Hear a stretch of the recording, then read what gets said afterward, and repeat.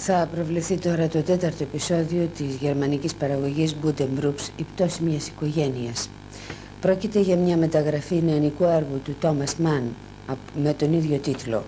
Βρισκόμαστε στο έτους 1850.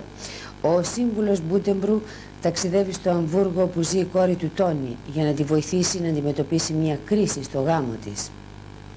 Αλλά πολύ περισσότερα θα συμβούν σε όλους μέσα στη δεκαετία αυτή του 1850. Παίζουν Ruth Leverick, Martin Brennan, Volker Kraft και άλλοι. Η σειρά θα ολοκληρωθεί σε 11 επεισόδια.